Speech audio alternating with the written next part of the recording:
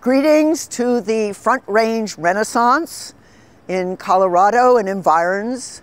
Very happy to be reading to you from the heart of New York City, my other home. And I want to start with a piece written in Colorado uh, during the stressful, fraught, uh, sad, yet empowering space of uh, pandemic time this kind of uh, weird aporia. And I was doing a lot of stargazing from my yard. And so I'd like to read this to you first. I wanted to tell you about my meditations on Jupiter. Grasping at fragments, I want to tell you at a distance, distanced, about the recital and its amplification. I thought unicum in the varying versions, urgent meditations on Jupiter, my remotest wandering, its chilly motion, ice and patterns, striations seem to be models of tissue and imprint, solicitude, solicitudes. In Persian, it might be a sign of geomancy. What is the sand you imagine trapped in your echo chamber, a telescope of no small size, a clepsydra of wondrous watery proportion, the greatest clock of tidal universe. What can you know? Recital as a dispatch, as a way of signaling a spin.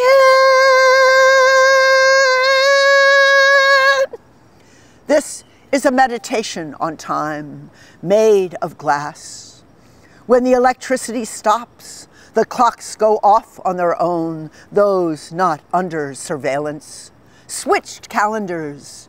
In the new technology, they will place an owl in your classroom to keep track of your study, your payments, your assignments. Are you on time for class? In an alienated classroom, the talismans of your own mind. And you feel split in time. You feel your head dizzying as your eyes land on the handmade machine of words, repeating forms from Dante's Inferno, dancing in a circle of left hand turns, tuning up on the day of reckoning as you ascend. I love the syncretic. I want everything to pile up in solitude, counting backwards, counting forwards into all the next centuries. The time you thought you were on, and then there were paused interventions all through your life. Ventricles, I need advantage and ventilators. I need vehicles, as in the lesser and greater vehicles of Dharma. The recital of Hayy ibn Yaqzan was written during his detention in the fortress of Fardajan. The narrator, or author, Ibn Sina, speaks of a time when his soul was at home and could go out to the familiar, but finding places that lay hidden in his own city.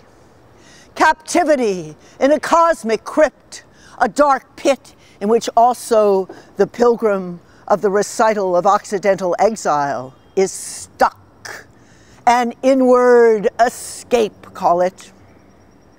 Solicitude summons Hayy Ibn Yaqzan's vision, waiting for the invitation to leave the prison whose jailers know not they are themselves captives.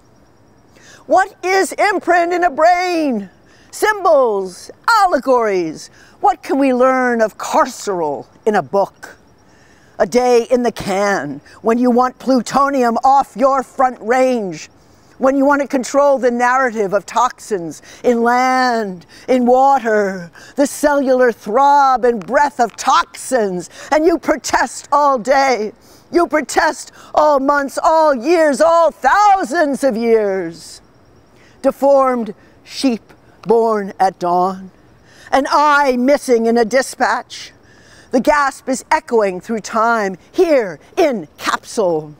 Study the surfaces of sand in an age that crumbles like sand. Count the eyes on potatoes. Study a field chart of matres, of mothers. Write a book that opens to the sky.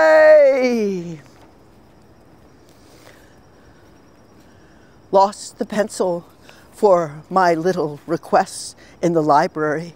But conjure Hermes Trismegistus, who witnessed the angel Jibril in a dream. My chambers are like cubicles in the library, the shelves swaying as in an hallucination.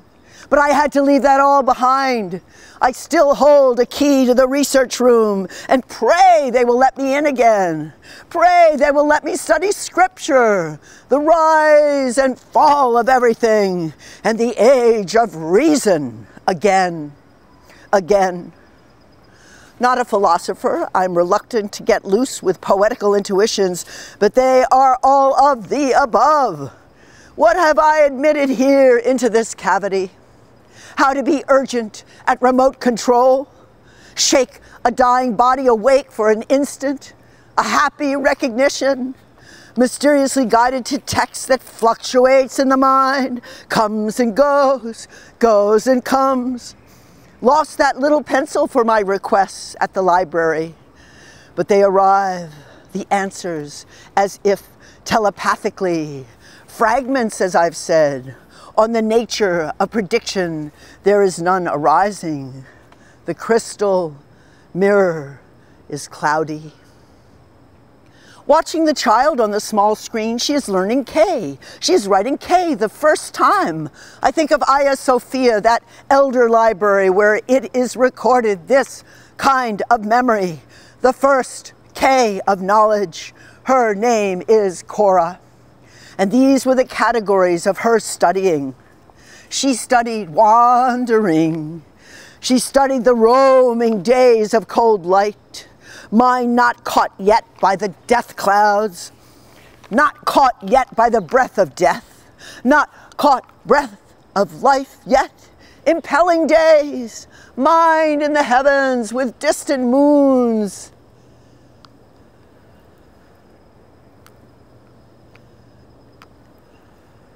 Enceladus, her oceans hidden under icy crust. Lift the curtain and you may see the future of water.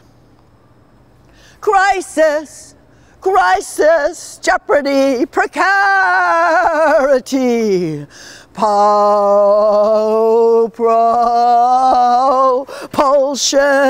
and scrying, scrying, hazards, restless, brutal patrols, corner of a watery eye, and keening, keening.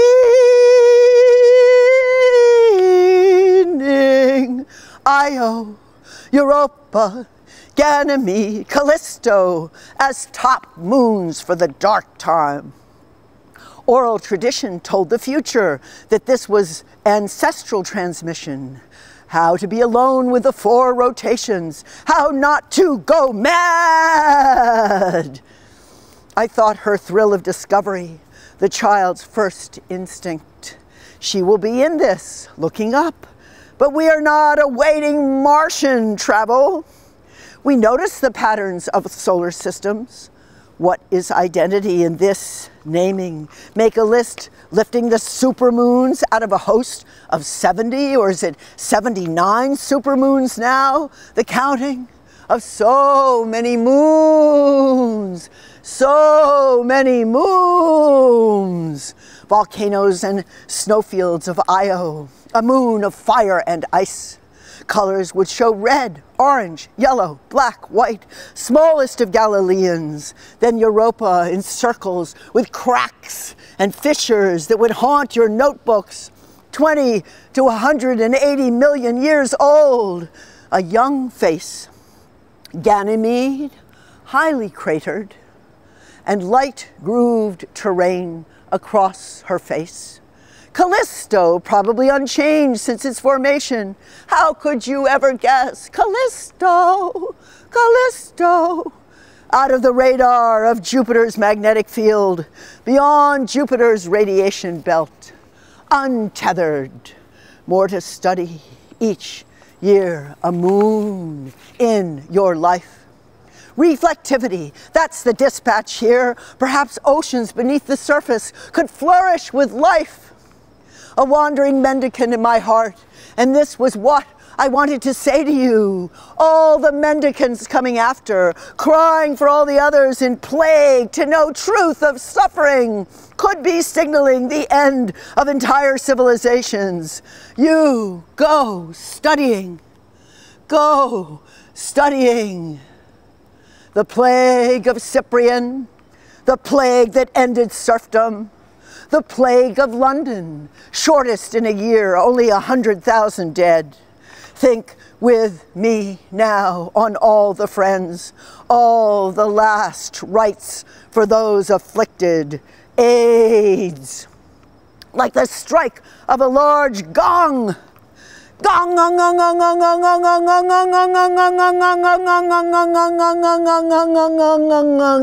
AIDS, the fallen. Solipsism is my instrument for seeing. We keep thinking about the future. This fluctuating, uncertain magic is apocalyptic in its nature, and we are forgetting our rituals. Our many rituals. Jupiter glowing out there right now, sitting here. It's 3:18 a.m. in mountain time. Look out my hatch on the sky, an ingenious bubble of shelter. See the comet glide across your wounded galaxies because you have a mind to project that heart broken song.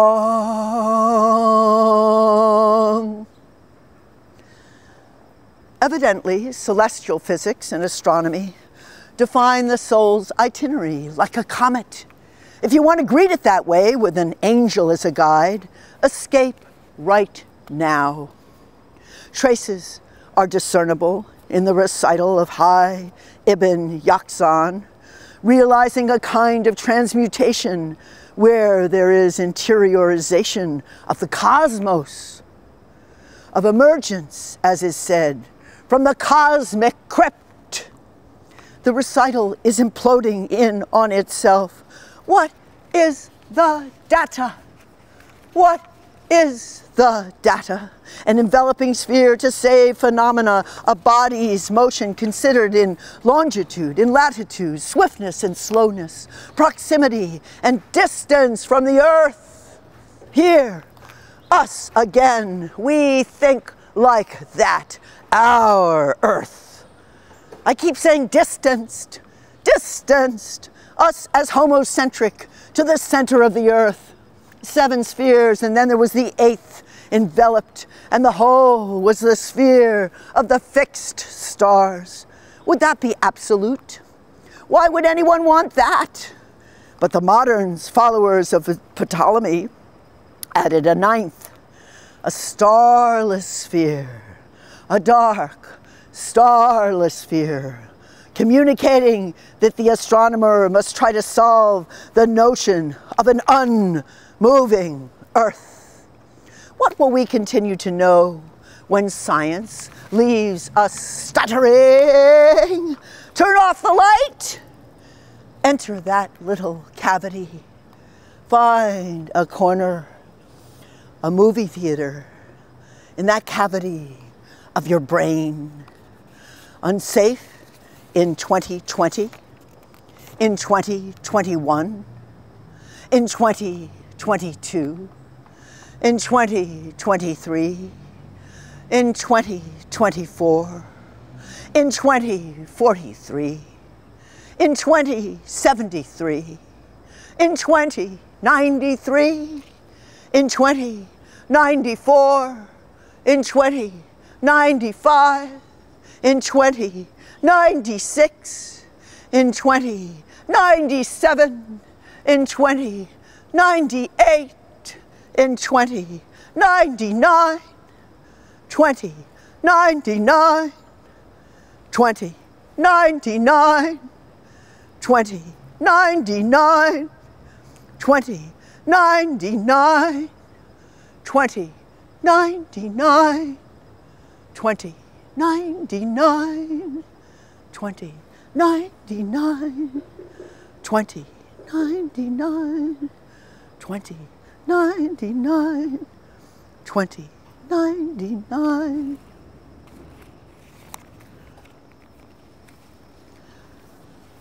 We are not yet born. We are not yet in the world. There is not yet a world. Things have not been made.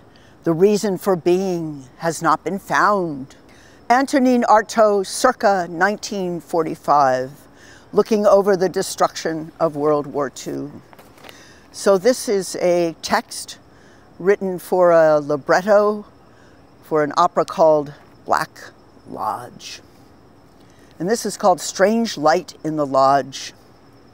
And it's after a description by Anais Nin, who observed the extraordinary French poet artist Antonin Artaud performing an enactment of the theater and its plague, and this was in Paris. Strange light in the lodge, repository of dark memory, spectral gesture. In 1933, Artaud performed an enactment of the theater and its plague body as future memory, as inscription, as keeper, as spectacle for the masses. His face was lean. The visionary's thrust to be incomprehensible, ensorcelled, the plague everywhere, death in the streets, death in the garrets, in the back alleys, in carts of doom, in Bardo, the edges between life and death, his hands were trembling, eyes rolling into the back of his head, looking inward, transported to an excruciating intensity. Artaud in the Black Lodge, cave of flickering shadows, sequestered. And is there a doctor in the house? Is there a doctor in the house? That we all see the demon plague take hold, that our hearts break or that fear turns us away. Us too, could that be every one of us too in the Anthropocene? I've got those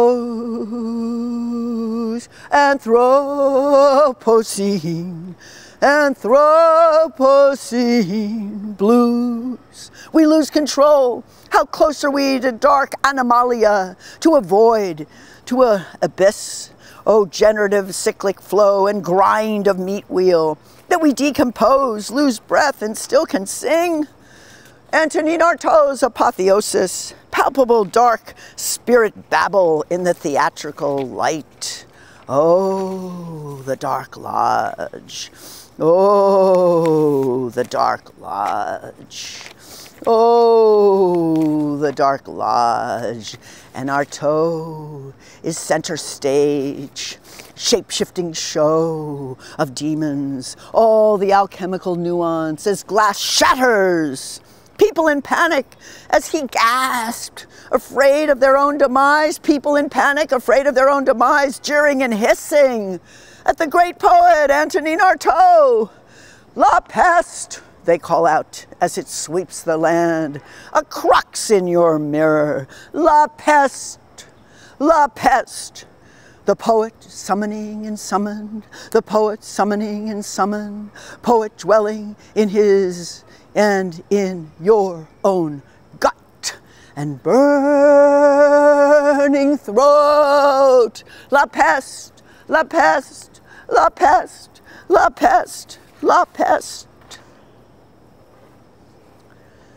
It's a beautiful collage by poet Lewis Warsh and collagiste who passed away during these last uh, year and a half. And uh, we used it as the cover for this beautiful collaboration, which is called Goslings to Prophecy. And it was written with Emma Gomez, a wonderful former student of the Jack Kerouac School of Disembodied Poetics at Naropa University, and uh, published in this gorgeous edition by Joseph Braun of Loon, the Loon Press. And uh, she and I were working during the Carrier Waves summer of 2020, and we wanted to honor the various poets who had um, come and participated in our first uh, virtual summer writing program after some 47 years of being live and in community. And um, I will read a couple of these sonnets. And one of our workshop leaders was teaching the sonnet, so we decided to honor that form and we tried to stick with it in a formal way. And then we expanded to uh, these kind of off sonnets. So with Emma Gomez and Joseph Braun and Lewis Warsh, I'll read from Goslings to Prophecy. This first one is for Alice Notley. Dark crescents, summer musings from disuse. Diaphanous strength, catch her firefall.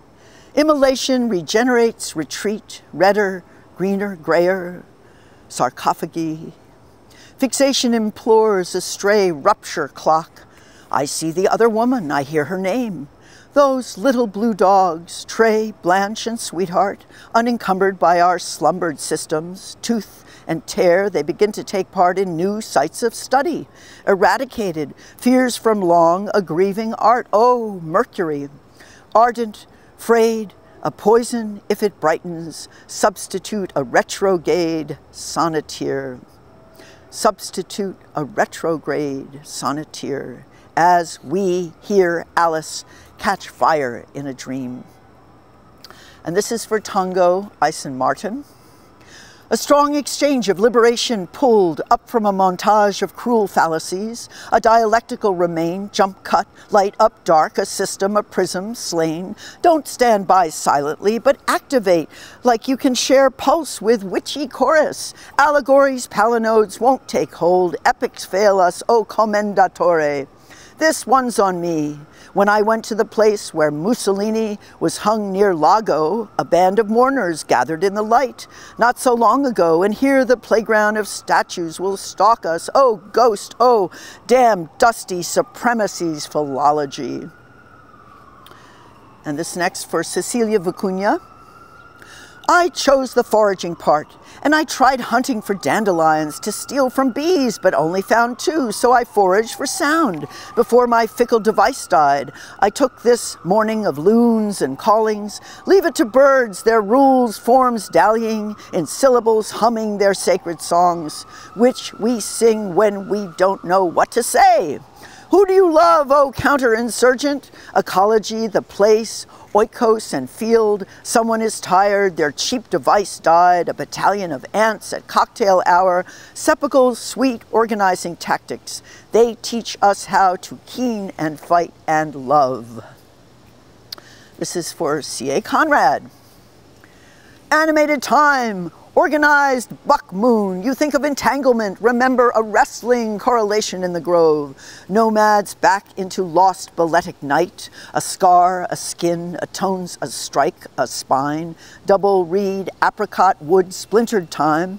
Some crystal things happen in good weather, or break a frame to death, to fall in place. Memory acts on the present wound, whether dirge to carry and disavowal, distill a still whether I trace shadows, or split open to anticipate breach, labeled before storing, indexed in song, the one whose fault will find a sabotage.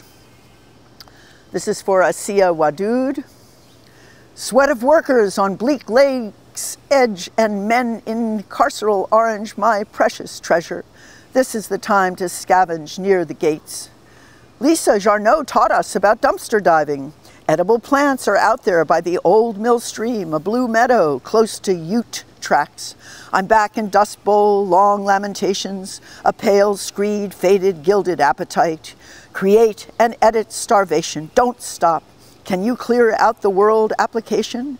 Zigzag fragile steps, melancholia, humble mist, who ashes in capital will need the moving imagination through everyone a bright season traces. And this is for Lisa Jarnot. We will find obsession too, dear Lisa, reading gold, pretty scriptures on the screen. Lisa holding the cantos, our brave Lisa.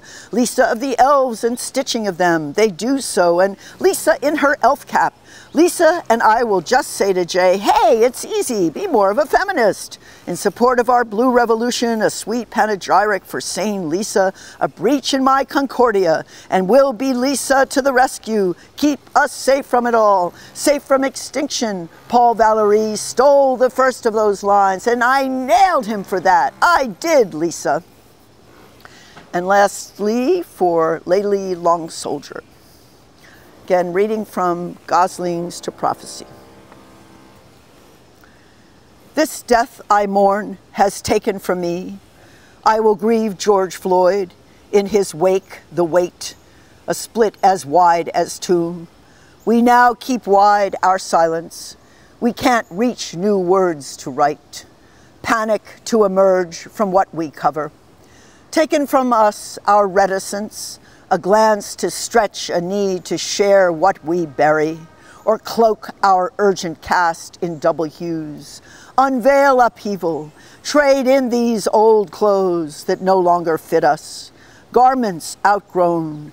This urgent death to mourn has left behind an ocean in its wake, clear, vast expanse, possible horizon gliding, we approach towards without abandon to say your name.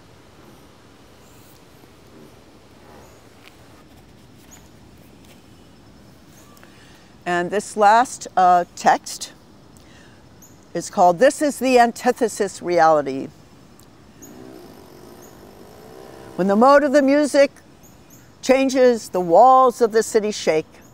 And again, so grateful to be reading for the book festival in my beloved other home, close to the Continental Divide, to, an, to all the poets and creative energy there, and to all the students and all the people making books.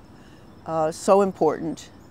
It's an amazing uh, turf for uh, poetry in this time, in this world. So salute the Front Range and dedicated to Diane di Prima, poet, publisher, printer, activist, who also passed in these past uh, months in what I consider a credible time of loss in our poetry communities, but also a reminder and an inspiration to continue to go to the work that uh, presents an alternative reality about how we can live and breathe and love and uh, keep the world safe for poetry and help wake the world up to itself.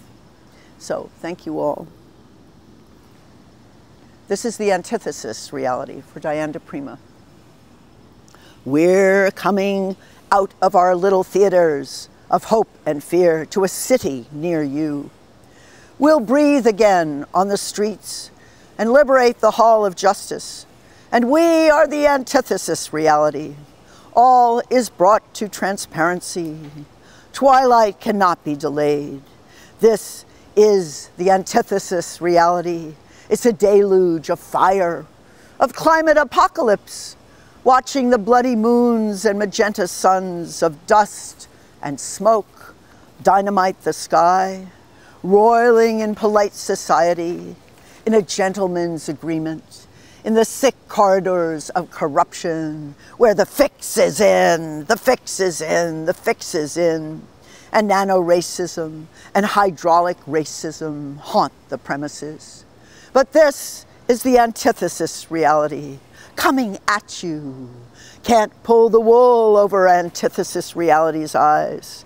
The security state thrives on insecurity and a war on daily life itself. Call in the paramilitary, summon the Space Force, and put a token woman on the moon. We're taking down oligarchy's assault, antithesis reality against psychopathic data flows, damming up rabbit holes of disinformation, won't swallow any snake oil hypocrisy, any fraud or mendacity. This is the revving up of antithesis reality vaccinating hate mongers. This is the antithesis reality. We ain't no foggy mirage. We're slamming your politics of de-civilization. We're the antithesis reality here to reinvent resistance and to risk revolution, not risk lives of tender beings in times of plague. We're coming out of our little boxes, our little frames, our little niches of hope and fear. We're coming up out of our little boxes, our little frames of hope and fear. We're coming up to a city near you, a town, a crossroads. We're turning down the static, voting against capital's extraction of all from all.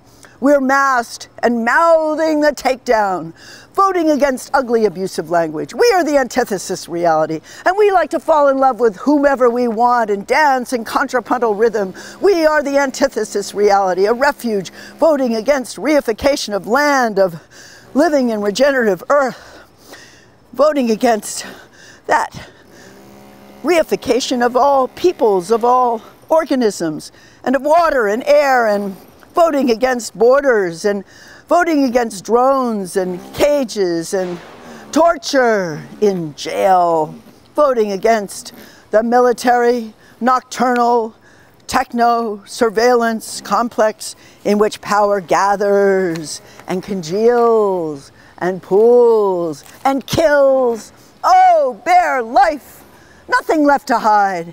Humanity, keep faith. Come reanimate the world. Oh, tentacular nation, we're working overtime. This is the antithesis reality, and we are here and rising and rising. Power gathers on the flip side of the mobster's cheap penny. Vote against brutality, xenophobia. We cheer the proliferation of difference because we are the antithesis reality and we are entangled in the beautiful rhizome of difference. We're spooky attraction at a distance. Distanced, distance, growing closer. Don't lose your mind. Don't lose your mind.